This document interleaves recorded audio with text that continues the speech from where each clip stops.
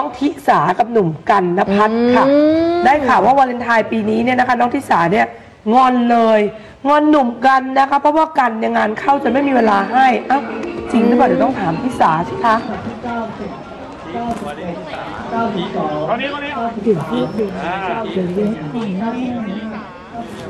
ทำไมเขาบอกว่าหนูนอกงอแงล่ะ ก็คือจริงๆก็มีบ้างนิดนึงคือรู้มาว่าเขามีงานตอนเย็น แล้วตอนเช้าไม่มีก็เลยแบบเออเดี๋ยวตอนเช้าไปกินข้าวกันอืมเสร็จแล้วไปมาเฮ้ยตอนเช้ามันโผล่มาจากไหน ก็เลยใช่มีคิวงอกออกมา จริงๆก็ไม่ได้งอนขนาดนั้นจริงเขาไม่เขาไม่ค่อยเป็นคนงอ ไม่ค่อยเป็นคนแบบไม่หวานเลยตรงเลิกเฉยอะไรอย่างงี้ไม่หรอกคือคือตัวจริงเขาจะกวนๆด้วยซ้ำอะไรอย่างเงี้ยก็เออ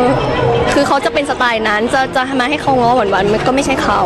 ตัวหนูเนี่ยก็ถ่ายละครแล้วก็กำหนดเวลาว่างยาก อย่างตัวเขาก็คือตารางกำหนดแน่นอนทำให้แบบเขาว่างเราไม่ว่างเราว่างเขาไม่ว่างก็จะเป็นอย่างนี้ยตลอดใช่ค่ะ